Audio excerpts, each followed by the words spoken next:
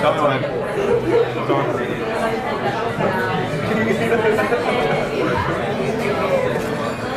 Guy Severe, this one is for you. This Heineken is for you, buddy.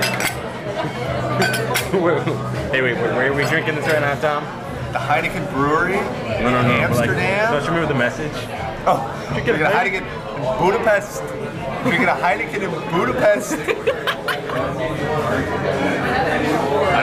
you're talking about, guy, but this Heineken, even though it's not in Budapest, it's in Amsterdam. It's for you, buddy. That is for you. This is your Heineken. I'm just drinking it for you. Cheers.